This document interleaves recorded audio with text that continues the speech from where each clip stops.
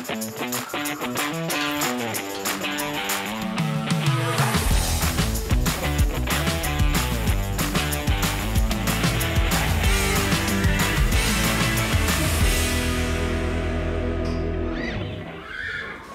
zeigen Equitanas Viele Franz und ich euch, wie wir die Verstärkung entwickeln, sowohl im Trab als auch im Galopp.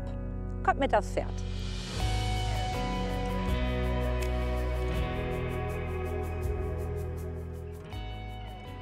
Viele Franz und ich zeigen euch heute Verstärkung. Wir fangen mal im Galopp an. Angaloppieren. Erstmal eine halbe Runde schön versammelter Galopp.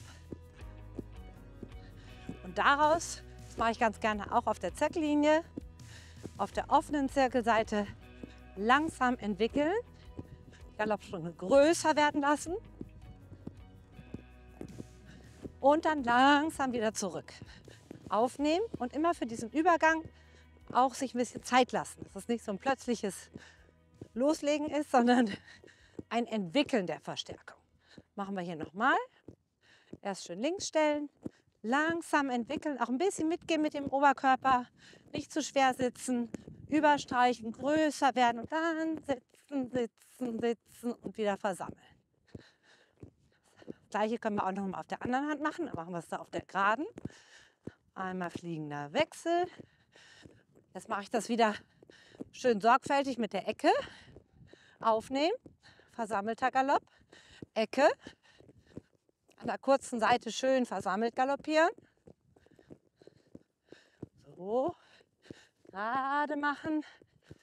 Und dann langsam entwickeln, groß werden, überstreichen. Und versammeln. Und aufnehmen.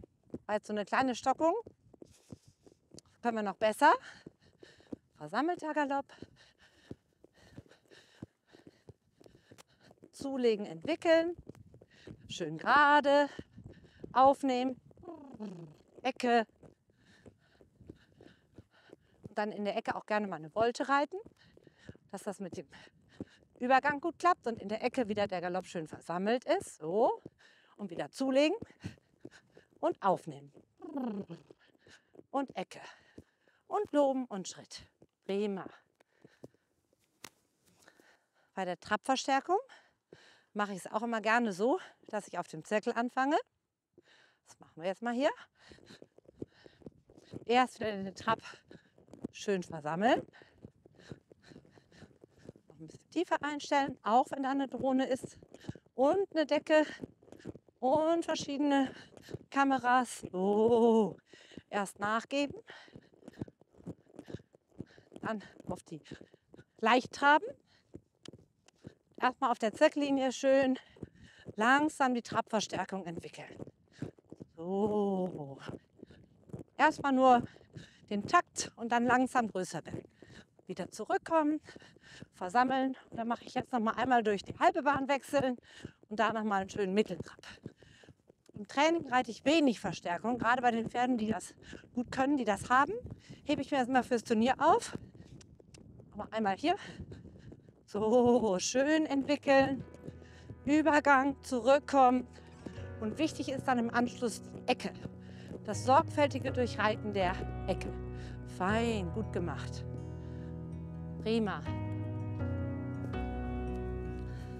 Ich hoffe, es hat euch richtig viel Spaß gemacht und ihr seid hoch motiviert, die Übung mit eurem Pferd gleich auszuprobieren. Viel Spaß damit!